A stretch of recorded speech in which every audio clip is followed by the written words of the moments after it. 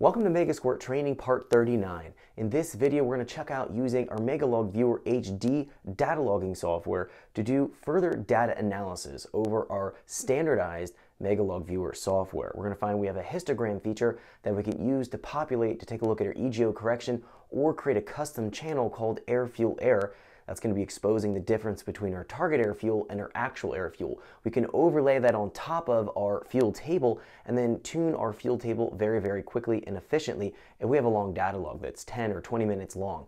So I'm going to be walking you through all the details in this video. So let's jump in so we can check everything out. Okay, so let's get started. We're going to be taking a look at working with our Megalog Viewer HD software in conjunction with our Tuner Studio software to further analyze and tune our main VE table. Now, up to this point into the training course, we've went in and we've worked with our Megalog Viewer software, so we're understanding and comfortable with uh, navigating this, opening up our data logs, and working with the general functionality of the software. Now, what we're going to find here, if we go to the top, under the histogram table generator or into the scatter plots, these are going to be grayed out right now. I have installed onto this particular laptop right now as I'm doing my uh, filming process, I have a Megalog Viewer MS Lite.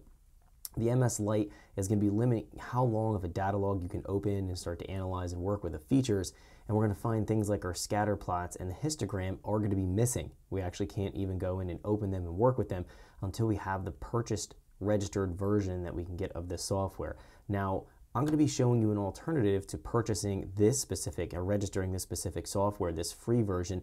We have another version called Megalog Viewer HD. It's going to be able to use on both the Megasquirt applications as well as many other standalones and tuning softwares. Now, in a lot of the other training courses in our school here, I've been introducing uh, specific videos of working with the Megalog Viewer, so looking at AEM or Haltech or many other systems we can work with that Megalog Viewer HD software and repurpose it and not be stuck with this specific software that's going to be used just for tuning with Megasquirt. So I'd recommend if you're going to be going with a paid or purchase version of our Megalog software that you're going to go and purchase the Megalog Viewer. Now we know we can get that uh, through EFIanalytics.com. If we jump in here, um, we're going to find it's going to be the site that we purchase it from. You'd have to follow the links here through the Megalog Viewer, click on that, and look specifically for the Megalog Viewer HD software. So if I jump into my Megalog Viewer HD software, I've purchased it, I've installed it on the laptop here. That was about a $40 purchase. I believe the registered version of the Megalog Viewer standard software here is $30. So it's $10 more.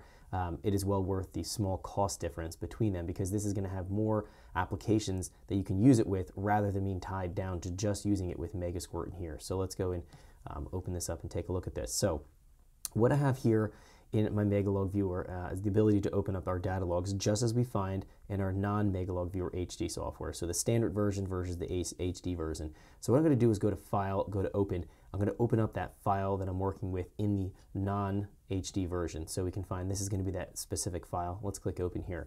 Now when we open it up, the functionality is going to be virtually identical between these two. So going in here and working with our different graph views, we can go and build different graph views. Going in here and bringing in our calibration file that's going to be tied to this data log. We're able to use VE Analyze. We're able to do all of the same functionality. Now the HD software does have a lot more things that we can accomplish with it. Um, and if we're looking at other, again, other kinds of uh, data logs from other systems, we're able to implement and work with those data logs here and analyze those further. But the key thing here that I'm going to be introducing in this video is going to be working with our histogram feature. Our histogram can take a look at our data here in a different manner. Now this specific data log I have open here is nearly 20 minutes long. We'll find that analyzing the data through this is going to be a time-consuming process. Working with the VE Analyze takes a look at your EG. Thanks for checking out our teaser clip. If you want to see the rest of this video and more than 500 hours of current EFI training we have to offer, make sure you click right here. If you want to go and check out more teaser clips from this training course, click here. And you don't want to miss any of the videos we're going to be releasing on this channel, so make sure you subscribe and click here. Thanks for watching, and I'll see you guys later.